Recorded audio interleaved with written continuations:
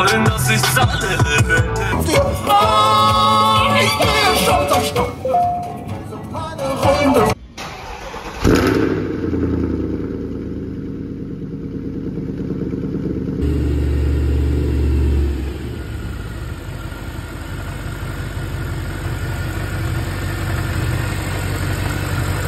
So, da sind wir wieder bei Opticast, ne? Wie lange ist er jetzt hier? Ich glaube zwei Wochen, ne? Ist Maxi. Zwei oder drei Wochen. Moin, hallo. Moin. Moin. äh, ja, da ist das gute Schätzchen. Warmlaufen haben wir ihn schon, aber Lüfter geht nicht. Das ist jetzt ein bisschen das Problem. Die Abstimmung ist jetzt noch nicht ganz fertig, ne? Nee, noch nicht. Ich habe auch gesagt, macht ruhig, immer wenn ihr mal Luft habt, mal Zeit habt. Ich hoffe, so habt ihr das auch gemacht. Ja. Habt euch nicht gestresst, Nee. ne? Okay, gut. Immer wenn ihr mal Luft habt, mal Zeit habt, dann da rangehen. Leistung wollen wir jetzt einmal kurz auf den Prüfstand messen. Dass der Lüfter nicht geht, ist natürlich jetzt nicht so schön. Der ging sonst auch immer, beziehungsweise als ich ihn bekommen habe, nicht, weil ich den Lüfterstecker abgezogen habe, weil er die ganze Zeit gelaufen ist. Also das heißt, irgendwas ist da im Argen. Ich muss ihn jetzt einmal hier rausziehen. Ist hier relativ fliegend alles verbaut, deswegen geht das auch ganz einfach. So, zack. Da ist, oh, da ist noch ein Kabelbinder, ne? Habt ihr noch einen kleinen Kni Knipsi hier? Kannst du den hier vorne kippen? Ach so. Ah, ja. Ah, schön. Nee, gut. So. Dann einmal Haubenentriegelung hier äh, auf den Kompressor klemmen, ganz wichtig. Und dann kann man, ach so, wir brauchen einen Torx T30 2. Gut, das habe ich vergessen. Ne? Also zwei Schrauben muss man schon lösen, um den Lüfter rauszukriegen. Ich habe den Sound auf jeden Fall vermisst. Habt ihr ja eben schon gehört. Fächerkrümmer, 200 Zellen Cuts, Kompressorumbau für die, die jetzt hier irgendwie neu auf den Kanal gekommen sind durch den RS7. Das Schätzchen habe ich aus ja, deutscher Hand gekauft, ohne Papiere, aus Katar importiert, ursprünglich. Ich dachte mal, es ist Dubai. Aber es war gar nicht Dubai, hat mir dann der Importeur gesagt. Genau. Gebrauchten Motor eingebaut, gebrauchten Kompressor drauf. Ja, es kann für einen Abstimmer und Tuner nichts Schöneres geben. Oder Maxi? Ja. Ja, ne? Das stimmt. Ist klasse. Opticars macht hier hauptsächlich Audi, Software, Hardware, eigentlich alles, was man sich vorstellen kann. Opticars und habe ich euch verlinkt in der Beschreibung. Und ja, aber auch Mercedes. Mercedes macht ihr auch. Ne? So, jetzt können wir hier schon live schrauben. Eigentlich muss das, geht das, ach hier unten noch, oh nein. Es sind doch sechs Schrauben, es tut mir so leid. Das ist hier Tuning, ne? Das ist Tuning. Es ist liebevolles Gebastel. Ich habe halt mehr Wert gelegt auf die, auf die Technik eigentlich, dass das läuft und nicht so auf die Optik. Optisch ist das wirklich kein Leckerbissen. Ich weiß nicht, Lackflo, hast du noch mal Bock, hier Hand anzulegen? Ein paar Radläufe zu machen, bisschen Spachtel hier entfernen. Hier ist er schon mal ein bisschen gekugelt. Hat einen kleinen Überschlag gemacht, weiß ich auch nicht. Hier sind 2 mm Spachtel drauf. Und ich habe auch nicht ganz bedacht bei dem Kompressorumbau, dass man hinten ja auch Grip braucht. Und hier haben wir wunderschöne 235er 19 Züller drauf. Ich habe schon gehört, dass äh, ja, bis im dritten Gang soll der irgendwie durchdrehen, habe ich gehört. Ne? Bringt Spaß zu fahren, ne? Ja. Macht Spaß. So, jetzt können wir den eigentlich... So, ist der Stecker schon ab? Nee, ne? Kommst du... Ah, mit deinem Pullover, oh nee. Das, Arbeitspullover. nee, das ist kein Arbeitspullover. Ist ab?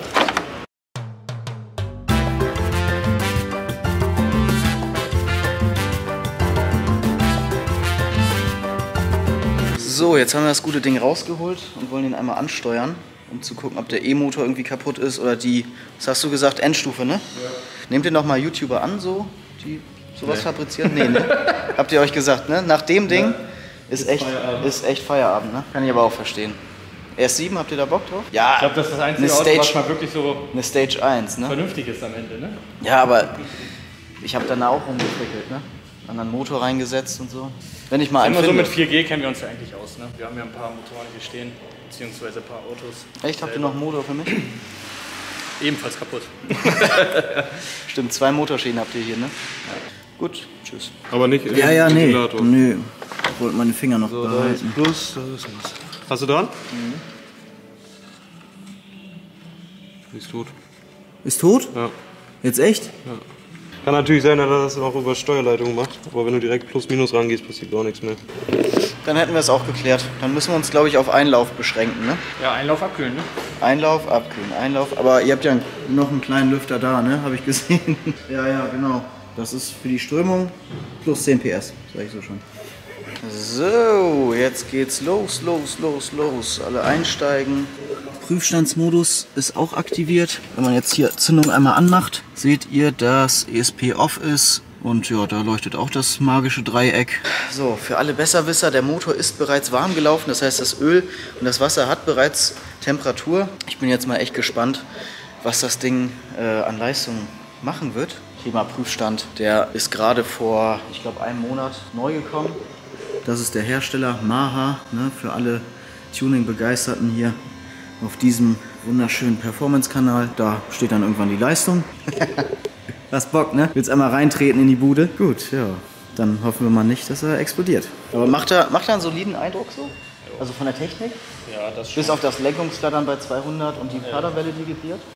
Ja, ganz kurze Werbeunterbrechung an dieser Stelle. Dieses Video wird unterstützt von Jackery. Dem einen oder anderen ist das noch ein Begriff, hat uns in der Türkei auch das ein oder andere Mal den Allerwertesten gerettet. Oh Mann, Stromausfall. Kubek, was machen wir da? Dann mache ich doch gleich mal die Jackery ein. Oh, jetzt haben wir wenigstens Licht. Danke, Jackery. Schön. Jackery bietet nämlich solche Batterieboxen an und auch Solarpanels, mit denen man diese Batterien laden kann. Das wird hier in der Halle hauptsächlich zum Handyladen genutzt, auch wenn das Ding eigentlich viel mehr noch kann. Und zwar haben wir hier Schnellladefunktion USB C, das Handy anstecken. Dann sieht man auch, wenn man hier rauf geht, gleich, wie viel hier gezogen wird an Strom. 36% hat das Ding noch. 12 Watt gibt es jetzt gerade ans Handy raus, ne? Oh, geile Karre. So, dann haben wir natürlich hier noch 230 Volt zweimal. Wir haben hier ein Licht, was uns in der Türkei auch einmal zu Hilfe kam.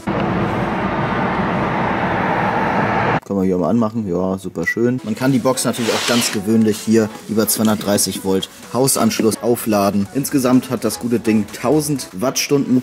Das heißt, selbst eine Flex bis 1000 Watt könnte man dort anschließen und eine Stunde lang rumflexen. Geil, oder? Passend zum Black Friday bzw. Cyber Monday und was es nicht alles gibt, hat Jackery auch eine Aktion am Laufen. Da könnt ihr bis zu 30% sparen, bis einschließlich zum 28.11. Also beeilt euch, ist glaube ich schon morgen.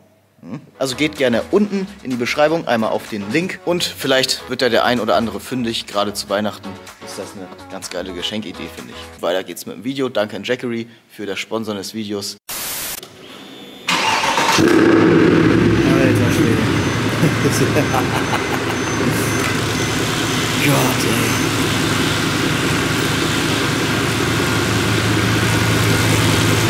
Und da nicht hintreten, Heiko. Bin jetzt echt gespannt wie ein Bettlaken, ey. Auch wie der klingt. Ob man vom Kompressor vorne ein bisschen was hört oder ob der Auspuff einem vielleicht die Ohrmuschel zerstört. Ich glaube, auch ihr habt schon länger darauf gewartet.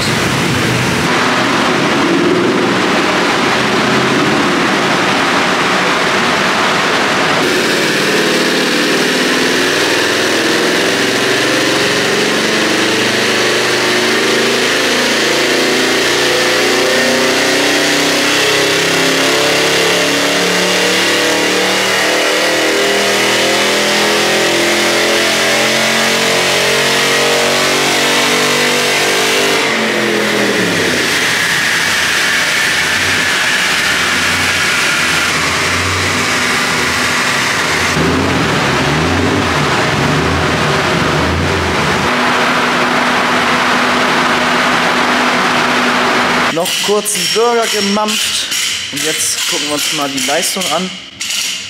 Er ist allerdings nicht ganz ausgedreht, weil sobald man ihn manuell von unten raus beschleunigt, geht dann irgendein Regelschutz. Ich weiß nicht ganz, da müssen wir noch einmal kurz das besprechen. Äh, da sehen wir am Motor 648 PS, normiert sind 636. Fragt mich jetzt nicht, was ich da, äh, was jetzt die offizielle Leistung. Also sagen wir 648 PS. Allerdings seht ihr das bei, äh, wo steht es? Ja, lesen wir einfach hier ab. Bei knapp 5000 ja, 600 Umdrehungen. Ihr seht, die Kurve, die rote, die geht immer noch weiter nach oben. Das heißt, wenn man ihn jetzt ausdreht, das wollen wir jetzt auf der Straße machen, gleichzeitig noch locken und alles Mögliche machen. Ich bin gespannt. Aber der Motor dreht ja bis, lasst mich nicht lügen, ich glaube 7400. Ich denke mal, da kommt noch was.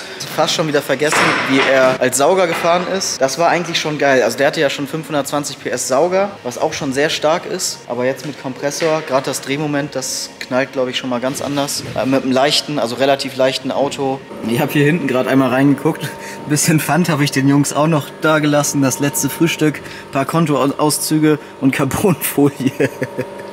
Gott, ey.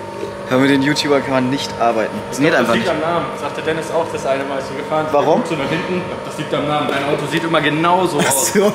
Heißt du eigentlich auch Maximilian? Heißt du Maximilian? Auch. Gott, das ist, das verfolgt mich. Max, Boberg, alle heißen Maximilian. Unglaublich. So, ach, das Schleifen meinst du, Maxi? Nee. Ne? so, Live-Abstimmung. Das erste Mal im Kompressor. Ich schnall mich natürlich auch an. Okay. Das Knallen hat er also nicht verloren. So, Safety first, ne?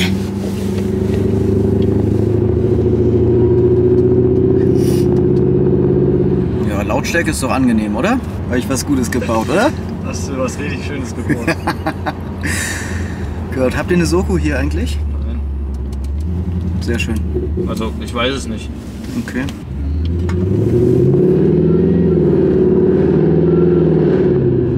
Alter. Für euch ist das ja normal, ne? Mit dem haben wir ja schon ein paar Fahrten mehr gemacht.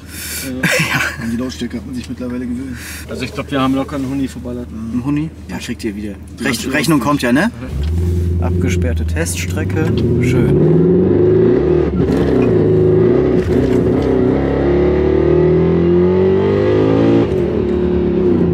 Ja, da geht er wieder rein, ne?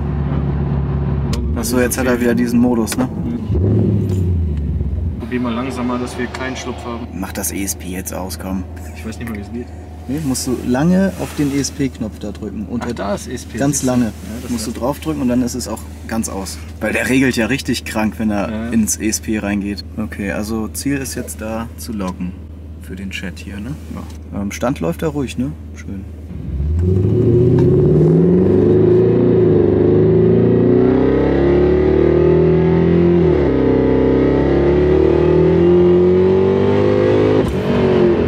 Das macht er das auch schon früher.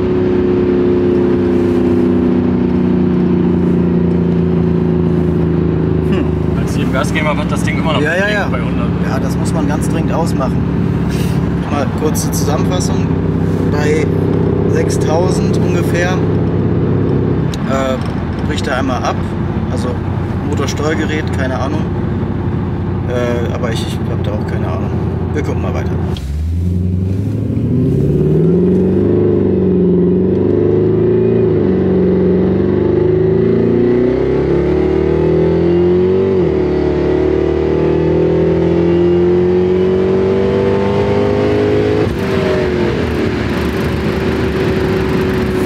Nee. Aber geht schon böse, ne? Bis 6000. Wieso geht auch ausgerechnet ESP aus? Geht auch aus? Ja, nur ESP geht aus. Okay. Also ESP-Lampe leuchtet. Was, was ist, wenn du ganz theoretisch, ich weiß, es ist auch gefährlich, aber wenn du im Rollenprüfstandsmodus bzw. ESP aus die 6000 überschreitest? Der lief hier ganz normal bis 7000. Ja. Der hat hier ganz normal seine 7, 7,2 gemacht. Ach so, vorher auf der Straße. In S. Mhm. So, wieder zurück. Und wir brauchen auf jeden Fall einen neuen Lüfter. Deswegen klauen wir uns einfach von der schönen C-Klasse jetzt einen Lüfter. Denn der Motor wird ein bisschen zu heiß. Die Theorie von Dennis ist, dass es irgendwie daran liegt. Bin gespannt. Er- Er flasht gleich noch einen anderen Softwarestand drauf und dann gucken wir mal, ob das läuft. So, und dasselbe nochmal. Ja, Kühlertausch hat nicht so geklappt, ne? Hm. Also Lüftertausch. War dann doch ein bisschen komplizierter bei so einem 200er CDI rauszuholen. Ja, wir gucken hier immer auf die Ansauglufttemperatur und die ist ja ausschlaggebend. Oh, da fährt ein, fährt ein LKW auf der abgesperrten. Oh Mann, du. Ach so, und der Softwarestand von gestern ist jetzt drauf, ne? Oder von, von vorher, ne?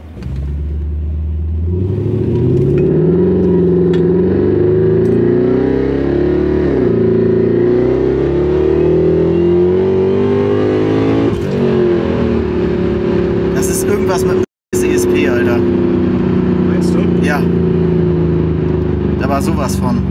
Dass er da irgendwie irgendwas mit dem ESP und Motorsteuer Das irgendwie ist auf nicht jeden Fall nicht mehr vom Softwarestand abhängig. Nee. Mach, mach mal ESP auf komplett aus. Jetzt gucken wir nochmal, ne?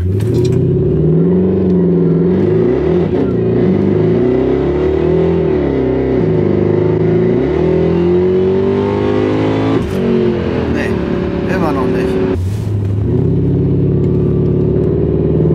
Wenn ich früher schalte, passiert es nicht.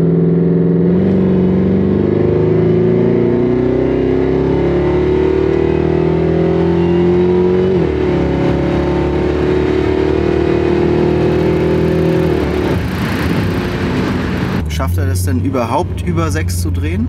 Oder? Der ging bis 7,2 durch. Ja, ja, klar. Aber jetzt? Also, Wenn man, äh, wenn du jetzt dich langsam rantastet und dann wenn langsam. man nicht Vollgas gibt. Genau, wenn du nicht Vollgas gibst. Ich fahre ja nicht Vollgas.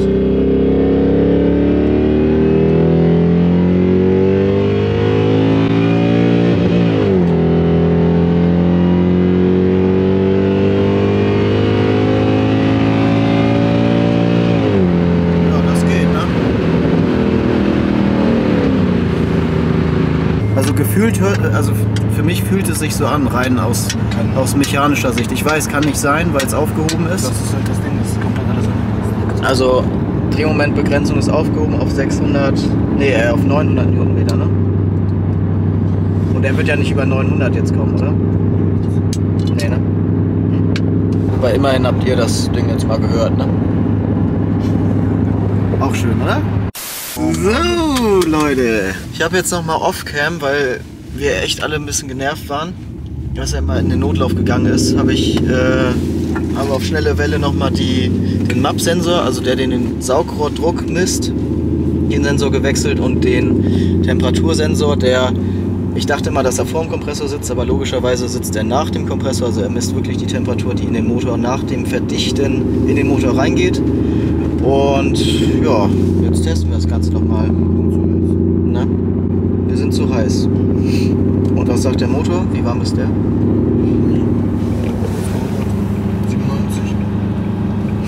Dennis will ja auch nicht mehr scherzen. Gott, ey. Ist auch schon ein bisschen später geworden. Ihr seht, es ist dunkel. Sollte auf jeden Fall einmal einen neuen Lüfter bestellen und einmal einen Temperatursensor, weil die Temperaturanzeige die ganze Zeit so hoch und runter switcht.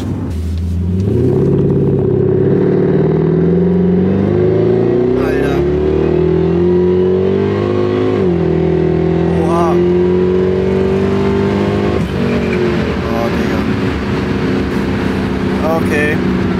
Alles klar. Ja, Leute, ich war gerade im Schnitt und habe gemerkt, du, Aigo, du hast ja gar keinen Abschluss gedreht. Mann, Mann, Mann. Es sind jetzt noch ein paar Tage verstrichen zu dem eigentlichen Videodreh, was ihr eben gesehen habt. Das Auto haben wir jetzt nicht weiter noch testen können, aber ich habe noch mal mit Pierre geschnackt. Also unterm Strich muss ich Opticars und auch alle, die da involviert sind, also das ist ja ein Stützpunkt von PP Performance, also sprich von Jimmy Pelka, der hat derweil in 2014 oder so, ich glaube insgesamt 50, 60 Stück von denen auch in Dubai oder wo seine Zweitstelle ist, umgebaut und der hat wirklich Erfahrung und an der Software liegt es wirklich nicht. Also bitte die Fähigkeiten von Opticast oder so in der Kommentarfraktion nicht in Frage stellen.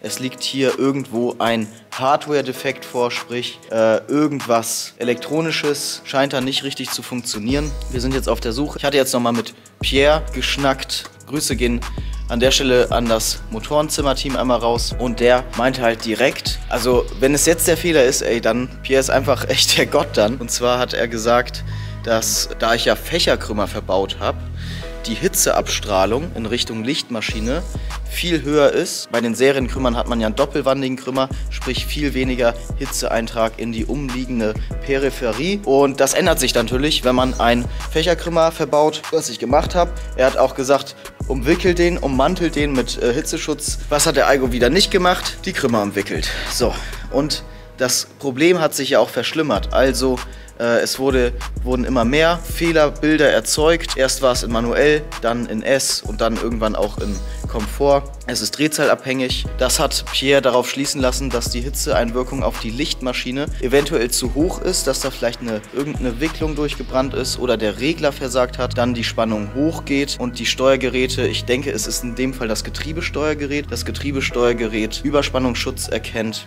und dann ausschaltet. Oder das ESP. Ich weiß es nicht. Das werden wir sehen. Wir werden im nächsten Zuge einmal die Spannung messen an verschiedensten Punkten mit Star-Diagnose, mit einem Multimeter und sind dann hoffentlich schlauer. Wenn von euch aber immer noch jemand äh, einen Tipp hat oder irgendwas in die Richtung hatte, das heißt ein äh, Motor, der in den Notlauf geht, also M156 jetzt natürlich, bei einer gewissen Umdrehungszahl und das immer und immer wieder, äh, dann schreibt es gerne rein. Also mehr als Fragen kann ich an dieser Stelle nicht. Ich bin selber ratlos. Ich weiß noch nicht, ob ich das Auto dann zeige, wenn es wirklich fertig ist oder ob ich die Problemfindungsphase euch noch irgendwie zeigen soll. Äh, und jetzt mich dann auch nächste Woche endgültig wieder dem süßen Kandidaten hier widmen, dem RS7. Da werde ich hoffentlich Ende nächster Woche, ja, einen Motor haben, hier auf Palette. So ganz kann ich es noch nicht glauben, aber bin dabei, ich bin dran, äh, bin viel am Suchen, am Machen, am Tun und dann geht es hoffentlich auch damit demnächst weiter. Nur krumm gefaselt, vielen Dank an alle, die in diesem Video mitgewirkt haben. Dennis von Opticast bzw. das ganze Opticast-Team. Alle, die ähm, telefonisch terrorisiert wurden von uns bei der Fehlersuche. Okay, gut. Genug vom IQP. Tschüssi. Euch noch einen schönen Restsonntag und einen schönen energetischen Start in die nächste Woche. Tschüss.